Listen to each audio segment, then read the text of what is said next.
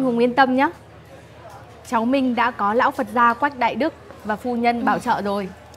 Đúng, họ còn muốn vinh danh nữ học viên Học viện Cảnh sát Nhân dân của chúng ta nữa đấy.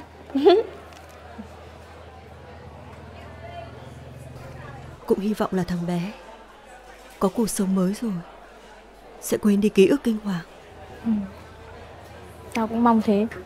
Ôi, cơm ngon quá nhờ Ê, ê, Vào đây vào đây ngồi. vào đây ngồi À thôi, tụi tôi sang bên này ừ.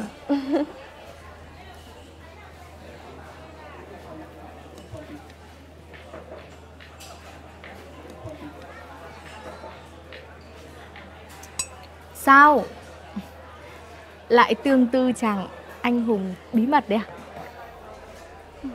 Không Tao đang nghĩ tới Em trai của thằng Tòng Không biết sau này lớn lên Nó sẽ như thế nào. Khi biết anh trai của nó Giết cả gia đình mình.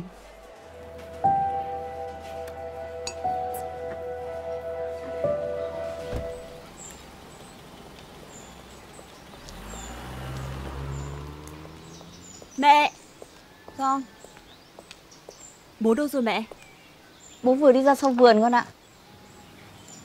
À mà này Mẹ nghe loáng thoáng Anh Phú ở công an phường. Anh bảo thấy con ờ, đánh nhau với thằng Ngáo. Mà con nhà ai với con? Còn gái có đứa Biết tí võ vẽ Ra đường đánh nhau thế. Ai người ta để ý nữa?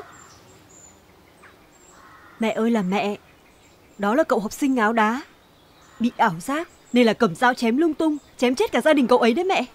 Trời ơi Nguy hiểm như thế tại sao con đánh nhau với nó Con đâu có đánh nhau. Con chỉ tìm cách ngăn cản cậu ấy thôi. Ngăn thế nào được? Nó cầm dao cơ mà.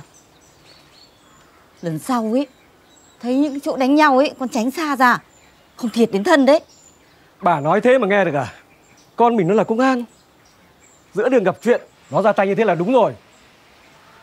Nhưng nó là con gái. Con gái cũng là công an.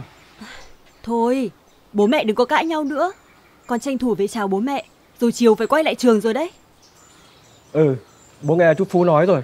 Bố dặn nhà mình phải kín miệng chuyện này. Chờ sự chỉ đạo của cấp trên. Thế chiều con phải đi ngay à Để mẹ nấu cơm ăn xong đã rồi đi Vâng Con đói lắm rồi đây mẹ Rồi mẹ nấu tí là xong thôi Trưa nay tôi xem trên YouTube ấy, ờ, người dân ờ, quay bằng điện thoại post lên. Nhìn cái thằng nó hầm hố, chỉ vài đòn hạ gục thằng Tòng cho chớp mắt. Bắt xong thằng Tòng xong ấy, nó bỏ đi luôn. Không nhìn mặt đâu.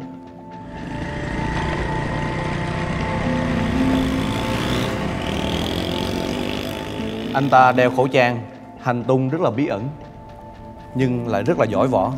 Mà dân giỏi võ vùng này chỉ có học trò của võ sư Ngô Xuân. Võ sư Ngô Xuân à? Ông ta là ai? Dạ, là đại võ sư Phá Nhất Nam Nhà ở gần trường tiểu học. Học trò của cụ rất là đông. Kể biết được anh chàng ấy là ai Thì tặng cho anh ấy cái bằng khen. Hiệp sĩ đường phố bây giờ rất đáng biểu dương Chúng ta không thể có mặt mọi lúc mọi nơi khi người dân gặp nguy hiểm. Cho nên, sẽ xác minh bằng được địa chỉ của cậu ấy nhé.